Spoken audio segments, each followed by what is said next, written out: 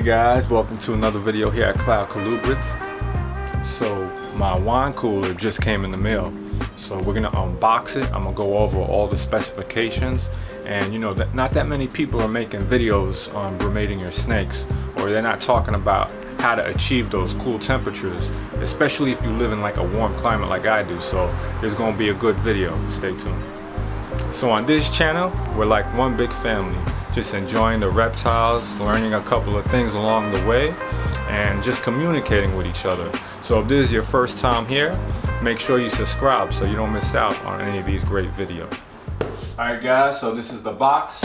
It's actually a lot bigger than I thought it was going to be, which is actually good because I need space in the cooler to brumate my snakes. And that might give me a little bit more space to put decent sized um, bins in, even though they don't move around that much when it's cool. So you don't have to put them in a big bin. I'm gonna put them in a small bin, but this looks pretty good. So let's open it up and see what it looks like. Christmas tree,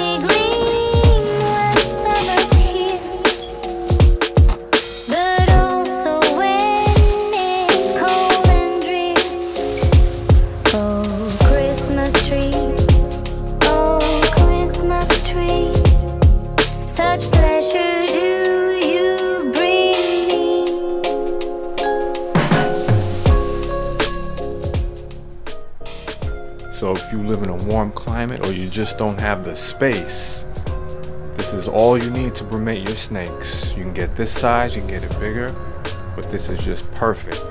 Beautiful brumation machine. Alright guys, so we got the cooler unboxed. I'm really impressed. Um, I like the color. Nice black with the silver. This doesn't feel cheap. It's not like cheap plastic. It's pretty, pretty good quality. And I'm gonna give you all the details, the brand and where I got it.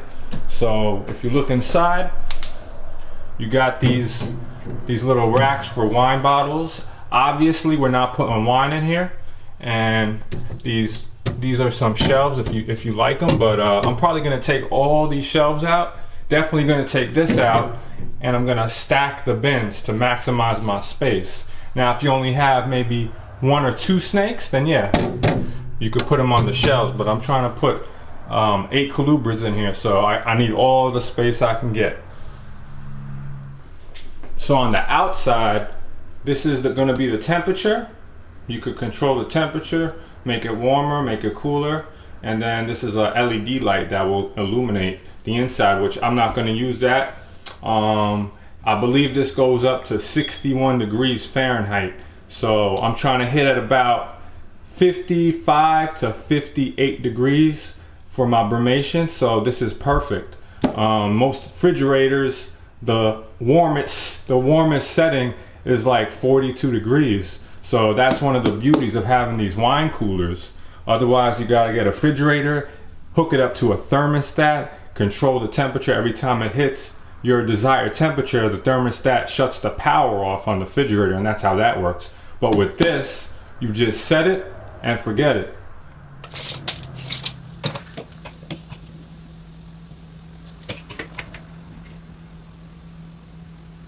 So the interior is 27 by 16. So that's how the inside looks. I got the LED light on. You can see the size of this and then there's this right here. I guess this is housing like the motor so you don't get as much space here. But once you stack up to about right there, then you could use all of that space. And it's a nice, it's a really nice size cooler. So now to set this one, you gotta hold down this little light button for three seconds until you hear a beep. You hear the beep. And now we're gonna set it to the max temperature of 56 degrees and then you hold this down for three seconds. So right now it's 77 degrees. I set it for 56 and I just turned it on, so that's why it's 77 degrees.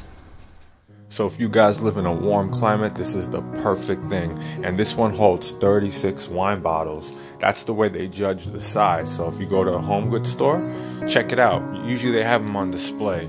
And this one has a little fan that circulates the air, but you still should open the door once a day just to make sure you get new airflow in.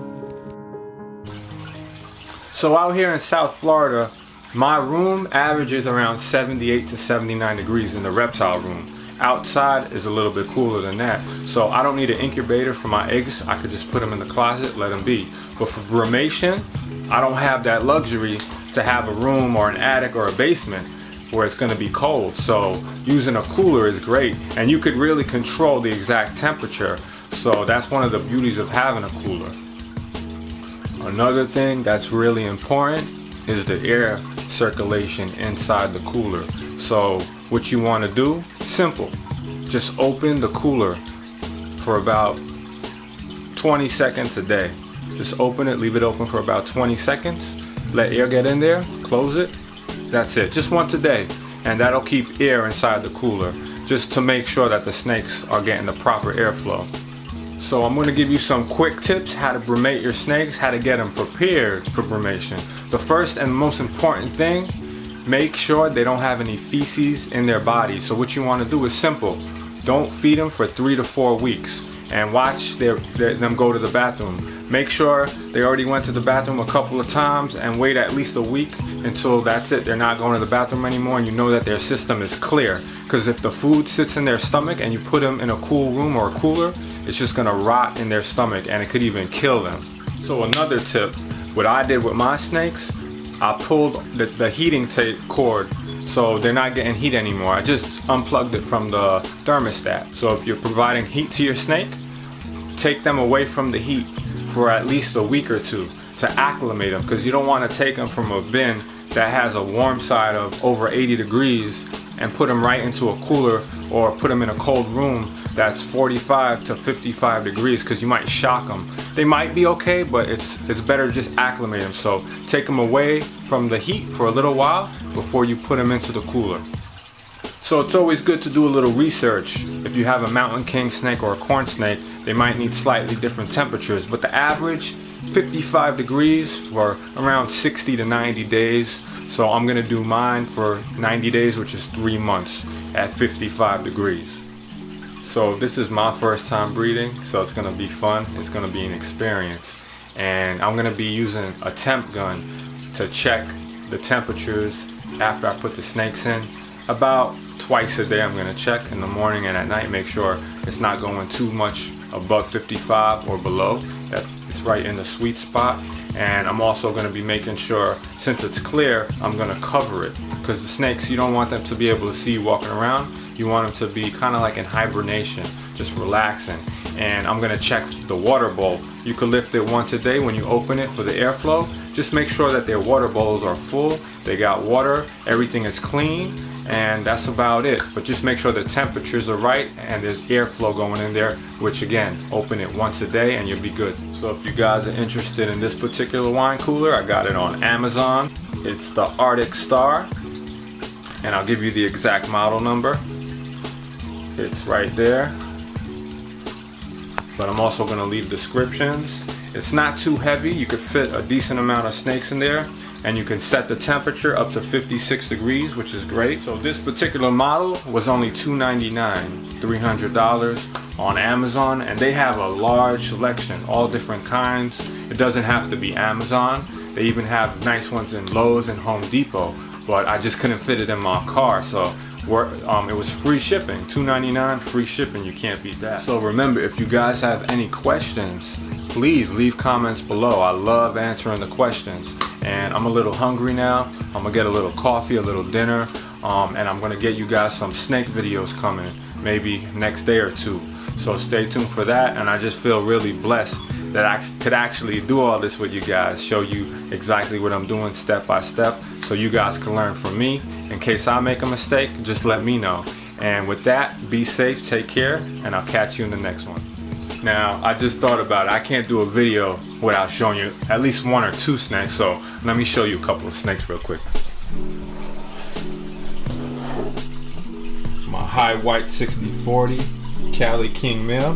Now, this guy was supposed to breed this season coming up in 2021. That was my plans anyway. Him and the other three, I have two females and two males, but they just didn't get up to size. And you know, I was feeding them every four to five days. They were putting on some weight. They definitely put on size, but I'm not gonna force feed them to get them to breed earlier. That's not the way to do it. So no rush. We're gonna probably do it next year.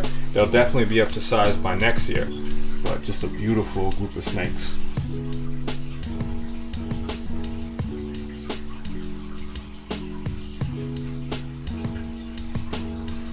Now let's check out. That's the male. Here's a female right here.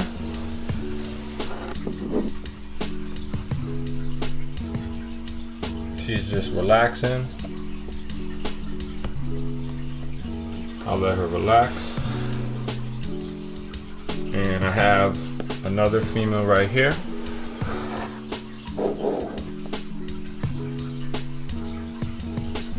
I'm not gonna mess with her either.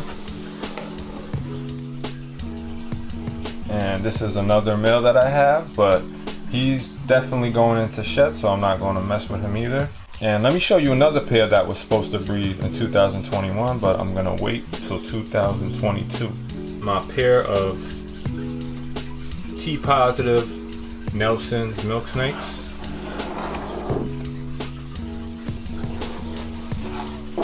And that's a pair. Let me show you up close.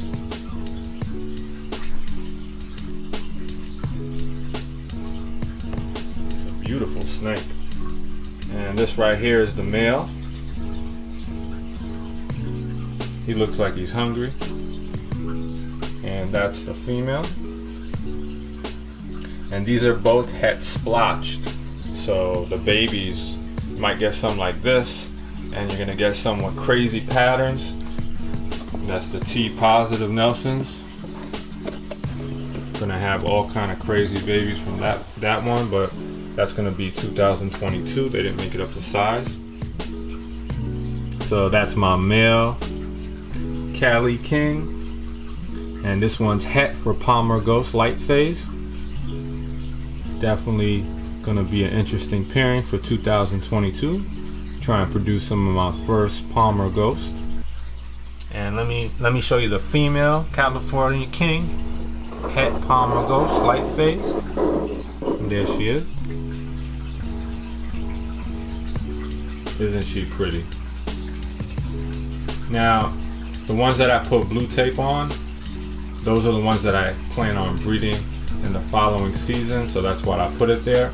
And I feed them every four to five days. My other snakes, I feed them every Sunday.